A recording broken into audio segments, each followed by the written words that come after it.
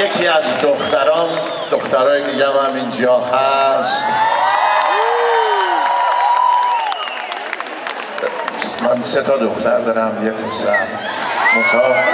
اسم این دخترم نمیگم برای اینکه جای اون دوتا خالیه اینجا. به هر حال. فرشید جان یک محبتی کردم. و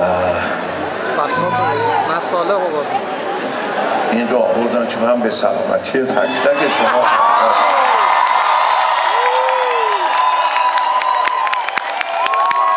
آرزو می‌کنم همیشه موفق و شاد و تندرست باشید. سلامت باشید. سلامتی همگی دوستان.